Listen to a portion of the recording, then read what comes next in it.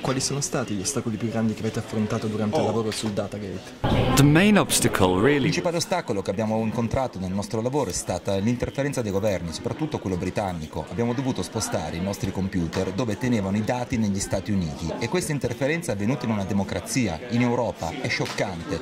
Credo che tutti insieme dobbiamo provare a resistere a tutto questo. Come è cambiato il mondo del giornalismo dopo il caso Snowden? I think there's kind of two lessons for us Penso in che il caso Snowden abbia dato due grandi lezioni al giornalismo. La prima è che dobbiamo iniziare a pensare a come proteggere veramente le nostre fonti e a come trattare in maniera sicura i nostri dati. Non solo noi giornalisti ma anche i nostri lettori. Il tema della sicurezza digitale oggi è diventato mainstream.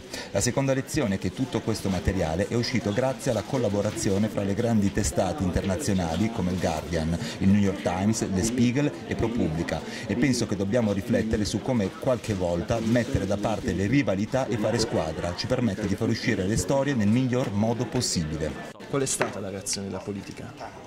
I mean, Ci sono state molte riforme, alcune credo siano buone, abbiamo messo dei limiti alla sorveglianza, ma dobbiamo tenere alta la pressione e l'attenzione.